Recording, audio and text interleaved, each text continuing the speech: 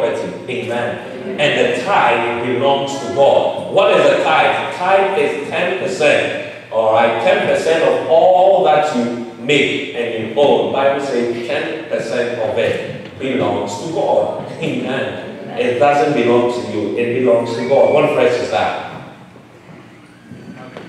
Nobody?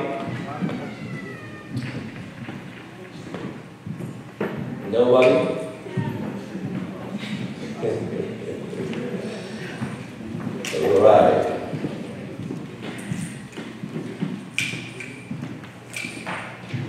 Hey, the place silent.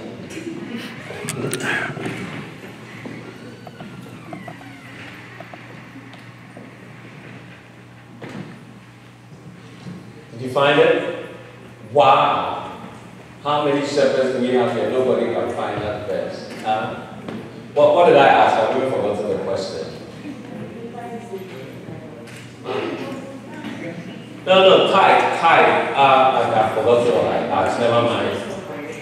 No, that's not. What I'm looking for is Deuteronomy, but I forgot the question even. But anyway, what is a curse? What is a curse? A cursed person is someone who will experience persistent frustration. Mm. You understand? Yeah. When you are cursed, you will persistently be frustrated. Everything you do will not work. It's a curse. Amen. And one of the ways you invoke a curse upon you is when you don't pay tithe, you'll be frustrated at your job. Yeah, you say the supervisor don't change him or her, you'll still be frustrated. Yeah, you say it's your landlord, you can move to DC, to Virginia, to Vermont, to uh, you can even move to Mexico. You will still be frustrated. Amen. You understand? Yeah, you, you, when you are cursed with a curse. Hallelujah. A cursed person is someone who is behind and below in everything. Yeah, everything you are behind. Only you. When you go and try, it doesn't work, you are behind. You are cursed.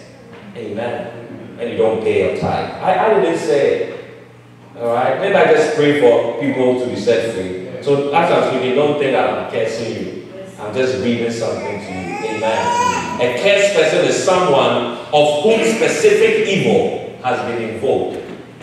Look, there's so much evil in the world and so much curse that you don't want to add some. Mm. You see? Because there are just general curses you can do nothing about. The mere fact that you are a man, a male, there are some cases that come with it. When you're a female, there are some cases that come. Some of it, unfortunately, from the family you come from, there are some cases that come with it. Your great great great grandfather went to steal somebody's chicken. and then they get that your great great great grandchild will suffer, and unfortunately, it's you. It falls on you. Mm. You are the great great great grandchild. yeah. Then now, as you are coming to the world, you are, let's say you're a female, you are walking with the curse of a female, the curse of your family. Then you want to invoke the curse of not paying tithe mm. uh, upon yourself. Yeah. All right. A cursed person is someone who is plagued with mysterious freak incidences. Yeah, mysterious. All of us, we are going downstairs, only you will fall down. on the stairs. Only you. No water, no banana, nothing slippery on the stairs, but only you. You will fall and somersaults. only and then you break your neck. And only you. You get it? Only you. Strange things happen to you. you. are cursed. Amen. I'm trying to explain some of you what is happening to you. Amen. Alright, a cursed person is someone who is persistently rejected and set aside. You understand? Only you. It's like before, oh, did that, that, did that. Oh, interview went well, that, that, that. Oh, we don't see any reason why we shouldn't hire you. Only to get a call the next day and say, we are sorry. Every job. Wow. Are you hearing going on? A cursed person is someone uh, who is constantly assigned to a bad option. It's like only you. you understand? Only you. Mm, some of you are like the, the woman at the well. Mm, only you. This is your faith marriage. Mm, you are from Ghana. You tried Ghana, it didn't work. And you tried Liberia, it didn't work. And you tried Cameroon, it didn't work You tried Ivory Coast, it didn't work. Same thing the black people. You tried white man, it didn't work. We tried Chinese, it didn't work.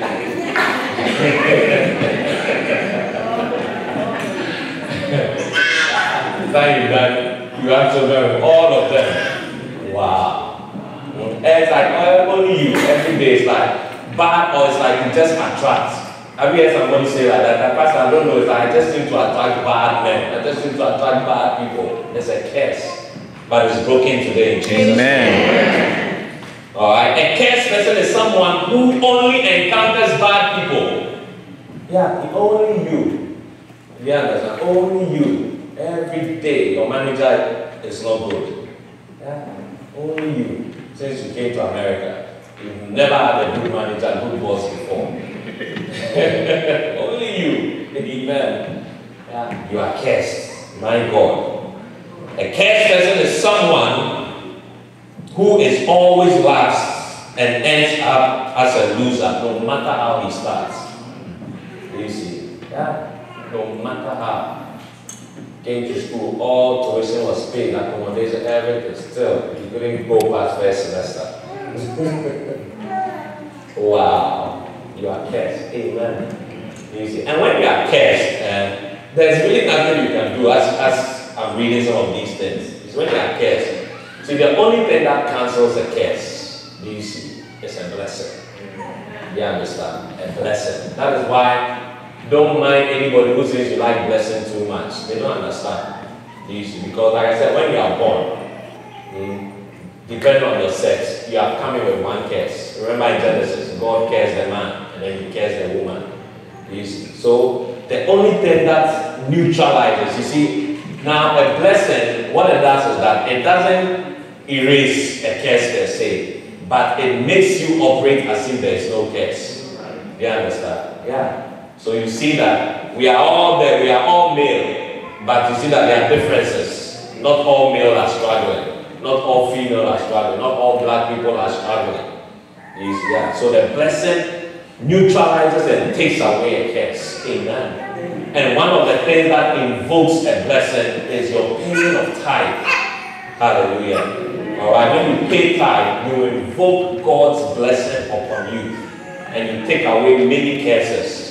Are you there? So I want to encourage everybody here. Our time is up, but I want to encourage everybody here today that decide to be a tithe payer. You understand? Don't st- look at Malachi chapter 3. I have one advice, alright? Stealing is not good. Don't steal. But in case you have to steal, not from God. You get it? Steal from Sandra or Auntie Doris. But not from God. you understand? Yeah. Uh, it says, Will a man rob God? Uh, but yet he hath robbed me. Ha, he hath robbed, yeah, he hath robbed me. But he said, Wherein have we robbed thee? It says, In tithe and in offering. You see, in tithe. Now again, how can God saying you have robbed them when the money belongs to you? This is where a lot of people struggle with tithe. It's like, how? My own money. So if it's your money, then this statement is wrong then, isn't it? Yeah, because if like um Auntie here with a nice purse, if I come and I take it, do you see? And she says I've robbed her, is she right? Yeah. Why?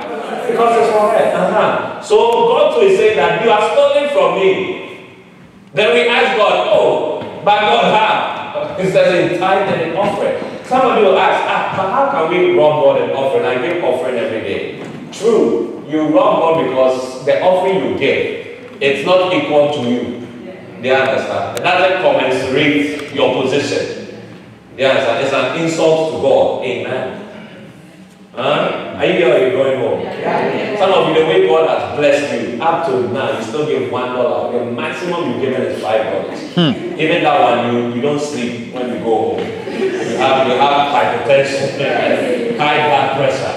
Just because of five dollars that you were given, you forgot that the five dollars was in the right pocket, and then you put your hand in the wrong pocket and you gave. Only to go to McDonald's to see, oh, I get the wrong offer. My God. and by the time you came back, we counted the money for. The sign sealed, almost to be delivered.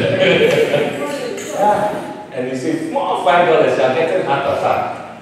You see, yeah, so then you come up with a plan. You give for the next four weeks. One dollar, one dollar, one dollar to make up. For yeah, you stole them from God. Amen. Amen. All right. So the tithe is God's money. Now, serving God is very mysterious. What is a mystery? A mystery is something you cannot understand. Okay, it's mysterious. All right. And one of the mysterious way God blesses us is through our tithe and our offering.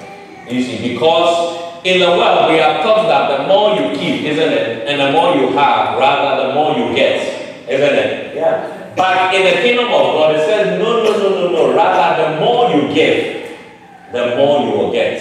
All right. And so when you study tithe, okay, one of the groups of people that you will see that God has really blessed in this world, a group of people, is Jewish people. You see, because Jewish people believe in giving.